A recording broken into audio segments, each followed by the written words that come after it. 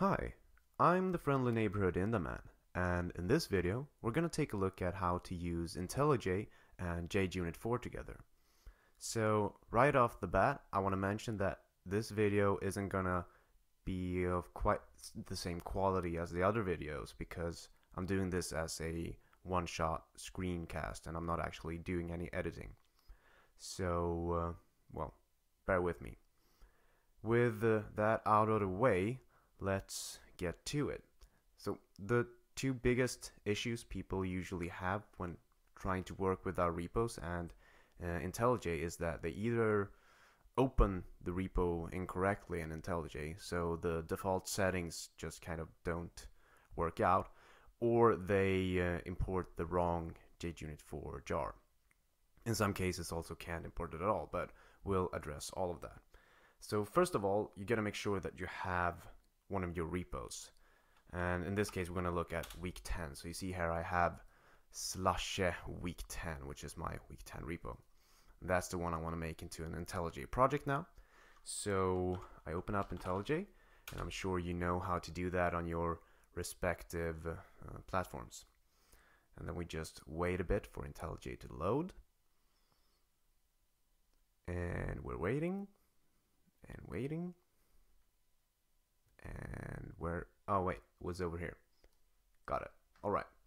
So um, what we want to do now is actually not, not a new project, not open, but we want to import a project. And uh, now you're going to navigate to the repo that you have cloned. In my case, it's here. And what you want to be careful about now is that you want to select the root of the repo and not like the source directory, but just select the root of the repo. Okay. And uh, make sure that create project from existing sources is ticked up there. Then we just click next here, that's fine. Here you can see that it found a directory with uh, Java source code, so it's going to mark the source directory as a source directory. And uh, it can find any external libraries, that's fine. Modules, that's good. I'm selecting my JDK. If you don't have anything here, you gotta add one, but it should find your JDK automatically if you have it installed. And uh, that's just about it. All right, so now the project is uh, open correctly, like so. If we look here, we can see that the source directory is blue. This means that it's marked as a source directory, which is good. Um, so now we want to open the source directory and open the list processor test file. If you look up here, you can see a very, very small plus sign. Click on that and you'll expand the imports. And you can see that they are red because JUnit and Hamcrest, these uh, uh, these are in like jars or well external libraries that don't ship with Java. So we gotta we gotta download them.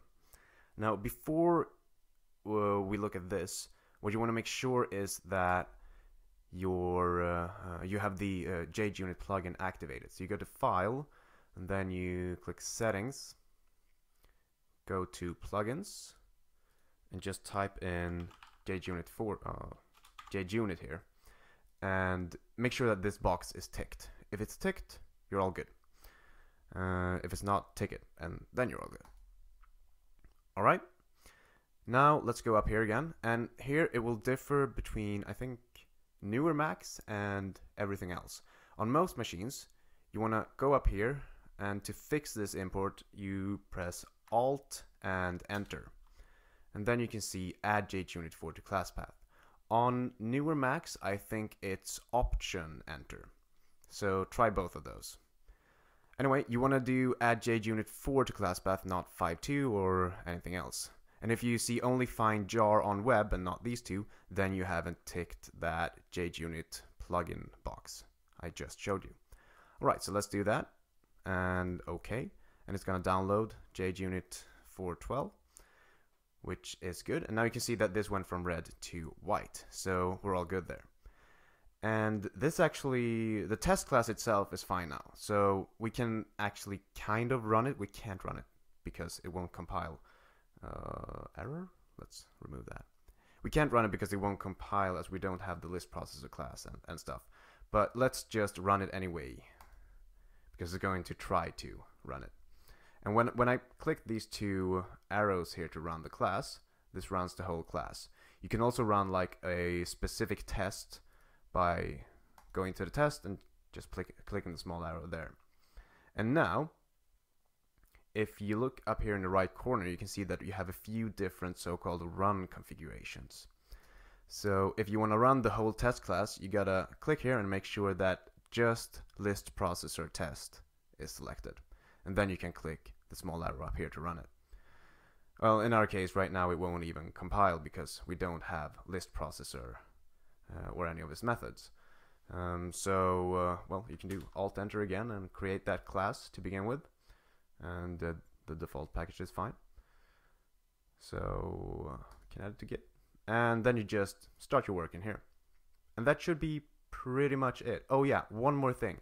If you don't get that start screen that I had in the beginning, you can also do the same thing uh, for creating a new project from an existing source by going to File, New, project from existing sources, and then it's all the same as I showed you in the beginning. So hopefully this clears some things up, and uh, yeah, that's pretty much it. Thanks for watching.